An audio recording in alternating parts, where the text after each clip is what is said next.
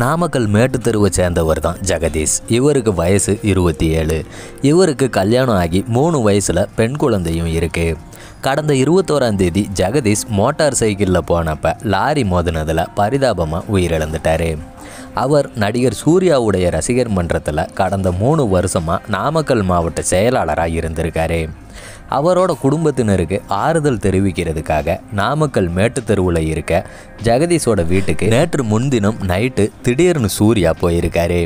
அதுக்கப்புறம் உயிரிழந்த ரசிகர் மன்ற நிர்வாகி ஜெகதீஷுடைய உருவப்படத்துக்கு அஞ்சலி செலுத்தின சூர்யா ஜெகதீஷோட மனைவி ராதிகா மற்றும் மூன்று வயது பெண் குழந்தைக்கு கண் கலங்கினபடி ஆறுதல் சொல்லிட்டு போயிருக்காரு.